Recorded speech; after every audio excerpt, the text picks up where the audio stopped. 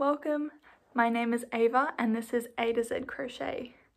Today, I don't really have a full knitting podcast for you here, but I thought maybe instead I could do a little bit more inspiration and I also have a fantastic um, op shop haul to show because I'm obsessed and I need to tell everyone in the world about it and I thought I could yeah maybe focus a little bit on more what is inspiring me at the moment and kind of walk through some patterns that I'm looking forward to making and I have a few acquisitions as well which I'm really excited to share. Okay, so to start, I do actually have one finished project, um, which I worked on. Currently, I'm in the Netherlands, um, staying at my Oma's house, and on the flight here, I made up the hipster hat by Petite Knit using some acrylic yarn from Spotlight. And actually no, it's 100% wool, but it's it's not it's not very nice.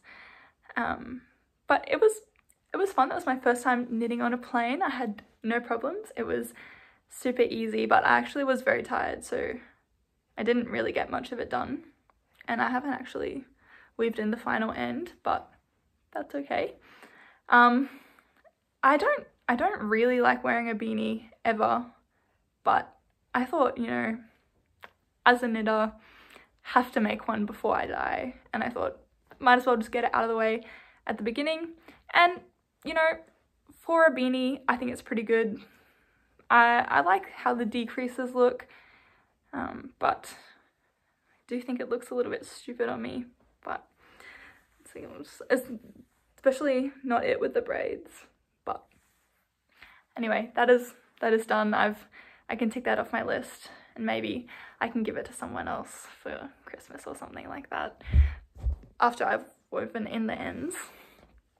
And so quickly just kind of, it's kind of like a whip as well as an acquisition.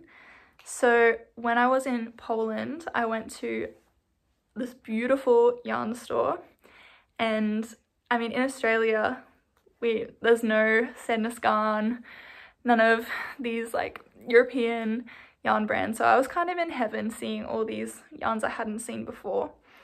And I couldn't help myself but pick up a few a few like few varieties of them. So I, actually, I only got two and I don't think I actually got enough yarn to finish off the project that I have in mind but I thought I would just get it now and since I'm in the Netherlands I probably have pretty easy access to getting some more so I'm not worried not worried about about that at all but I got some double Sunday some double Sunday. At first, I thought it wasn't actually that soft, but now that I've actually been knitting something with it, it's definitely, definitely a lot more softer than whatever this is. Um, and it's so like plush and like, oh, I just want to squeeze it. Yeah, it's fantastic. And then I'd also had my eye on some of the Sandnesgarn line yarn, which is has like the linen and the cotton and because I've been wanting to make the Loulou shorts by Le Pool for the longest time but I haven't had any access to that yarn especially oh maybe I have but not in the color that I want so let me just grab that and I will show you what it looks like okay I'm back so there she is it is in the pink. I'm not sure what number it is, maybe 4626 is the color. And I just think it's exactly the color that Le uses um, for the shorts. And I think it's just the best color. I'm not sure why you would go past this. Um, but I'm really excited to make some shorts out of linen because I mean in Australia it's too hot for literally any other kind of um, material. So I bought a few of these ones and I think I'm gonna make make it up when I get back home because I'm not really in the mood to make some shorts right now because I have actually been working on a project with my double Sunday.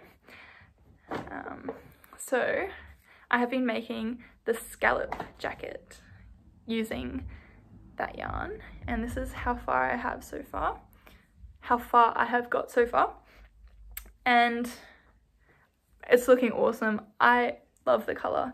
I had originally planned to make it in black but as I was in the yarn store I was just I was just sitting there and I was looking at the colors and I was looking at the black and I was just like it's so boring I don't think I think the finished object would be so nice to have in your wardrobe.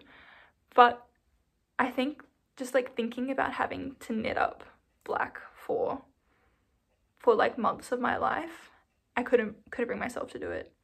And I've just been seeing so many jumpers in this like lime green in in the shops. I was I was I was in the city and I was in some some store and there was this jumper literally in this color and I almost bought it. I almost bought it. But then I was like, no, because I can make this myself and I can make it into a really cute cardigan. And so that's what I've been working on. I feel like I've had the cardigan, the cardigan rush right now. That's basically all I want to make, except for obviously the very long list of everything else I really want to make. But anyway, yes, that was so exciting. I loved picking that yarn up. I I got it while I was solo traveling and I had to carry around an extra bag and then actually all the clothes that I bought as well. I had to buy another bag so I could bring them around with me, which was a little bit of a pain, but definitely worth it when you see what I got. So yes, maybe, maybe now I'll kind of walk through what my plans are. Not necessarily like set in stone, but just pieces that are definitely inspiring me right now and some which I have been very close to casting on, but just haven't just yet. But I'll just set up my laptop and come back. Okay, I'm back. Got my laptop set up and let's go through some of the pieces that are definitely inspiring me at the moment and basically I really want them in my wardrobe and they're in my queue. I haven't necessarily thought about yarn for all of these but I'm pretty sure I will eventually make most of these ones up. And so to start I have the Align set and I literally just stumbled across it yesterday and it's just kind of been on my mind. Can't stop thinking about it. I really love the colors that the designer used um, for this piece and it's in brioche and I've never, never done that before. And I think this would be an awesome way to try and learn this new technique. It's a bit like intimidating, so I'm not necessarily sure I want to make like a full oversized sweater using that technique. Rather, I think, I mean, surely a set would take that much time. But maybe I could just make the skirt first or the sweater. We'll see. We'll see what happens. Um, but yeah, I really love the contrast stitch. I think it's such a unique feature. And it's just been on my mind and I thought I would tell you all about it.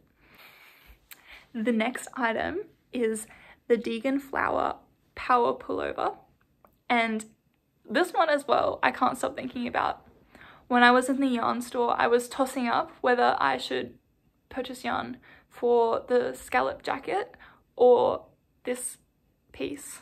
But again, I have n I've never really done intarsia before, so the thought of a new technique it kind of kind of scared me a little bit, but I really I love the flower motif on this one and it's just it's so stunning, so stunning. I think I've seen seen some people make it up in some other colors. I've seen it in a blue, like a kind of not not navy, more like cobalt, and I think that would be really fun. I always find myself, I mean, apart from my hand knit sweaters, all my sweaters before, the ones that I would wear again and again, they were always navy blue, which is not my favorite color at all, but I just, I just seem to wear them the most. So maybe I should start making mine up. So I'll actually wear them. Not that I don't actually wear my jumpers, but just so that maybe I'd wear them more. Not sure.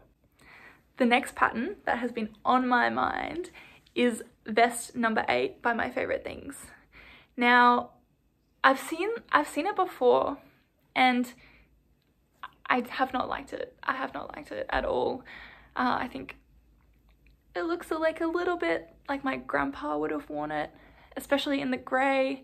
Just wasn't really speaking to me. And I've been I've been wanting to make a slip over for the longest time, but I always find that I'm not a big fan of it oversized and I'm not a big fan of it cropped.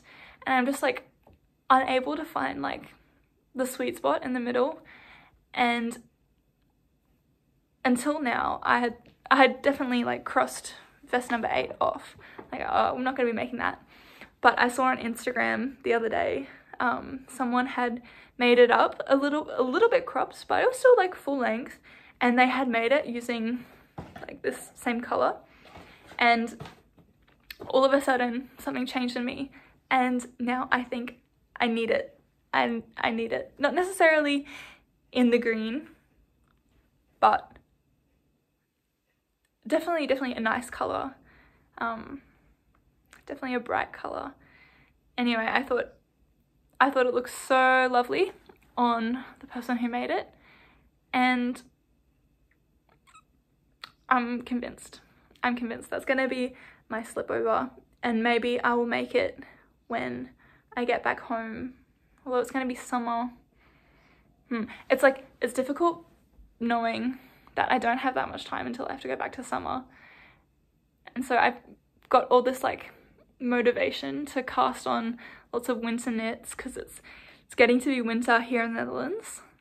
But knowing that I'll have to like finish them off in an Australian summer is is kind of like making me take a step back. And I guess that's probably another reason why I chose to work on the cardigan rather than the flower pullover, just because it might be a little bit nicer to finish if I don't get it done over here. Okay, so the next one, I thought I'd just quickly brush on the scallop jacket. Okay, so the scallop jacket, just gonna put it out there, I think it's a timeless, timeless silhouette. Cardigans, I love wearing them. They're good for Australian weather too when it's when it's winter because it's never actually that cold. Um, and so you're supposed to, the, the pattern recommends that you hold a mohair with fingering, but being, being sensible, I said no. I said no. No to the mohair because it's not, it's not very wearable for me. I did recently just make up my very first mohair jumper. I did the Ingrid sweater by Petite Knit and it pains me, but it's really it was a mistake. I shouldn't have put the mohair in there. It feels beautiful and it looks lovely and honestly it's great, great for being in Europe, but no, I think no more mohair for me. It's just, it's sad. I know it's so sad, but I, I can't go through the heartbreak of not being able to wear my pieces. So I'm, I'm ticking that one off. Maybe when, if I move somewhere, but right now, no mohair. And so I'm just using, obviously, the double Sunday, which is a DK, and I'm just holding that single. And I really like the, the kind of, the drape, I don't know, it has. I'm just using, I'm using the four millimeter needles, and it's all a bit bunched up right now, but the raglan increases, they're looking fine. Nothing but good things to say about it currently. Although, it's not working up that quickly. It's not working up that quickly, but that's a me problem and I should just be enjoying the process. So that's fine. So in general, I would say my knitting goals are to finish the Field of Sunflower Socks by Stone Knits, which is a colorwork sock and I have been working on it for over a year. I have done like five versions of it and it's still just like not working how I want it to. So goal number one is finish those. Goal number two is to make a knit dress.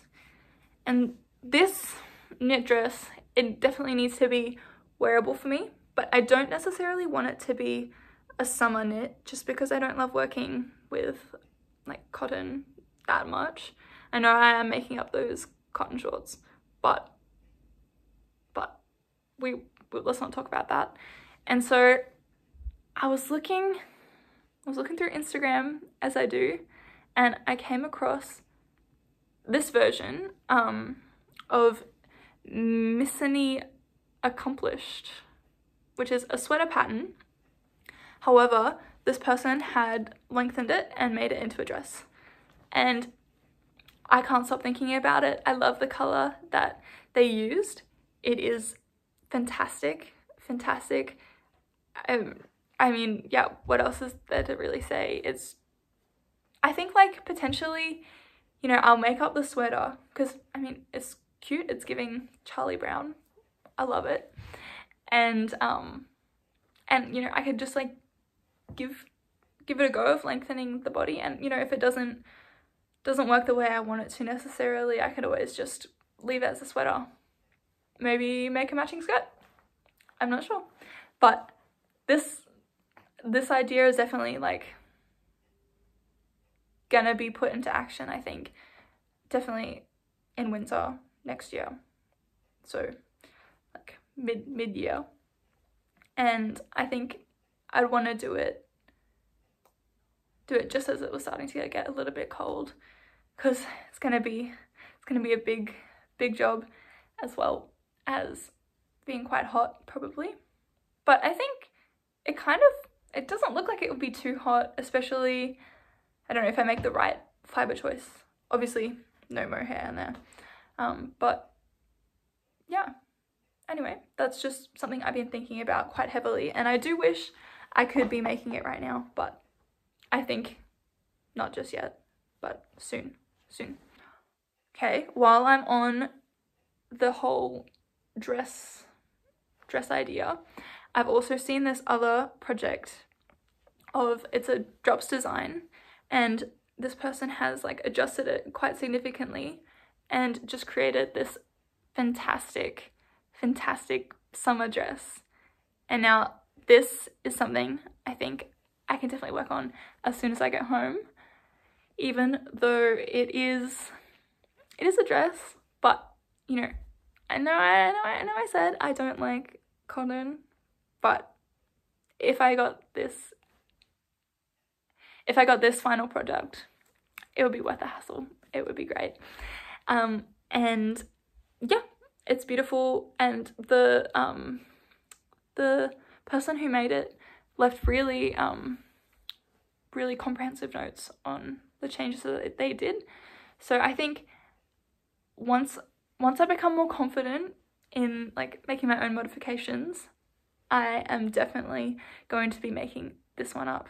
I also just love the colors that they chose. It's so so beachy, so chic. I think it's fantastic. I'm not necessarily sure what yarn I would be using yet, but but I love the color combination and I think I would want to do something similar with the stripes as well. But yeah, obsessed. Okay, quickly thought I would just talk briefly about the Loulou shorts, which are the ones that I'm planning on making using this beautiful yarn. I've just been on the hunt for the perfect shorts for a really long time. I always find that they they just don't really sit that nicely. And I just, something about the way that these are shaped, how they're kind of like flared at the end. I had a bit of trouble finding like really good photos of how these will look when you're like standing up because they all seem to be kind of like kind of um uh kind of posed quite a bit but I think I'm gonna take the risk because I mean basically all the shorts patterns I can find are always so posed. It's really difficult to see if they're actually very flattering or not. And I think I'm just going to take the risk for this one and maybe use like the knowledge I gain from making this pattern and hopefully I could try and make some of my own adjustments if it's not necessarily working out the way I want. But yeah, I'm keen to cast these on as soon as I finish my cardigan. They're next. Okay, I have to talk about it. The seashell set. It, ever since it came out, ever since it was released, I'm pretty sure I heard Tiffany from Typical Bliss talking about this pattern and I have not been able to stop thinking about it either. However, it's kind of a similar problem where not that many people have made it and those who have have actually not necessarily had the greatest things to say about it, especially with the top not really having any any shaping, which they found didn't necessarily flatter. And so I've kind of been holding off on knitting this one up until I just get a few more opinions about it. And the just like it looks so nice in the really posed photos, but I am super interested to know what it looks like when just like on the day to day because I think it would take a really long time to make and it would be so disappointing if it just wasn't wasn't really that flattering or didn't look very good. And so I'm just, you know, I'm leaving it leaving it some time, just kind of letting it letting it stew a little bit just to make sure that I'm 100% oh that I'll that I'll be happy with the final product. Um, and so I'm just waiting until a few more people make it. But I am thinking about it. I've been thinking about it for a very long time. I love the color that the original designer made it in. I think it's so beautiful. But probably knowing me, I would have to do it in a bright color. That's that's just what I do. Um, maybe, or maybe, maybe in a, I saw someone make it in, like begin to make it in red and that looked so, so fantastic. But maybe a navy blue. maybe. I'm just gonna leave it, give it some, give it some more time and come back to it when I'm back in Australia. Because, you know, it looks perfect for the beach. It looks so good. Yeah. Okay. That is all the patterns that I have been obsessively thinking about for potentially up to a year. So that is kind of a little bit of what I've been working on and a bit of my inspirations that I've been thinking about. And so now I I would love to just show you some of the clothes that I got when I was in Poland, starting off with uh, the Adidas jacket that I'm wearing. I was I was just talking when I was at the hostel, I was just talking to someone being like, "Yeah, I need I need that Adidas jacket that everyone's been wearing." and I spoke it into existence. Okay, let me start from the beginning. It was like my last day in Krakow, and I was just walking around the streets. I thought I would just do one last, like, you know, loop of the town, and I was headed kind of towards the castle, and I was walking by this one shop, and it was like secondhand clothes, and I could just tell it was going to be good, but it was about like 9.30, and it hadn't opened yet, and so I was like, oh, okay, okay, okay. I'll, I'll just, I'll give it some time. I'll wait for it. And I went and got a coffee or something. And when I came back, it was, it was an amazing store. It was, it just had basically everything I had been like thinking about.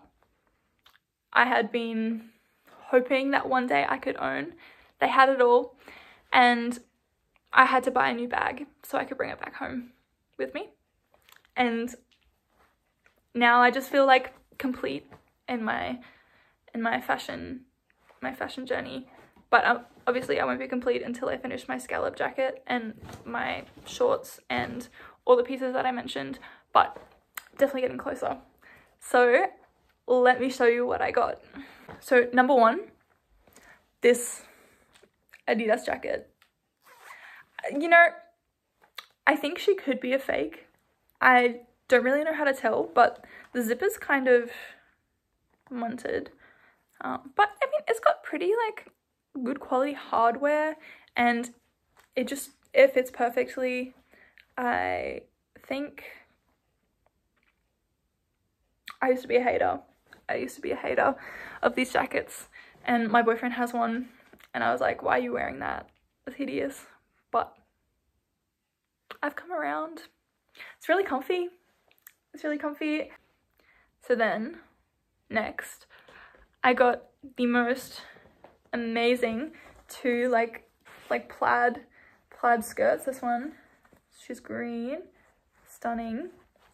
And then this one, which, okay, it's a little bit broken, but I think I can fix it because all I need to do is sew on, sew on another one of these. It's just, it's just missing one. But we look at this, it's literally, she's pleated, full length, um, maybe not full length midi, but it's also got this like straight non-pleated bit. I'm so obsessed. I think it's beautiful. I love it. And then they were the first things that caught my eye. And as I kept going, just came across more, more, more insane things. I'm a big fan. I'm a big fan of a, like a grandma, grandma top. And this one, it's got the frills. It's like in a blue satin. Screaming. So good. And then this like butterfly top. I had I'd seen it earlier and then as I was checking out, they told me I could get one more piece for free. And so I came back. It's got, it does have a quite a large stain on the front, but I'm not really a big fan of the grey anyway. So I was thinking when I get back home, I'll dye it. I'll dye it a colour, maybe, maybe black. I think that would look so cute. And it's so iconic. So good, so good. Okay, and then the final, final item is this like suede jacket in this fantastic pink. I think I need to get it dry cleaned, so I haven't washed it yet. But I've never really, I've never owned a jacket like this. I normally just wear jumpers. I mean, in Australia, you don't really need anything more than that. And um, it's giving. It's giving. I love it. But yes, that was my haul. I'm not sure if you're going to be as impressed as I was about it, but I'm ecstatic. I'm truly ecstatic. I, it was fantastic. So good. Okay. Sorry for going on too long about that, but it just, it had to be done. It had to be done. Anyway, I also recently, well, I bought it because I was coming, I was going to do my solo travel. And I bought the Kobo Clara 2E to do some some reading. Because I've been recently I've been really into audiobooks but they normally like don't have they don't have all the books that I want to be reading. And I don't like reading on my phone or my laptop particularly much. And I mean physical books yeah they're great. Um, but not necessarily when I'm traveling and so I thought I would invest invest and literally best purchase of my entire life. It is so good. I've just been breezing through books, especially when I was traveling by myself. I would like finish half a book on the train, then half a book at like lunch and then move on next book. Like breezing through them.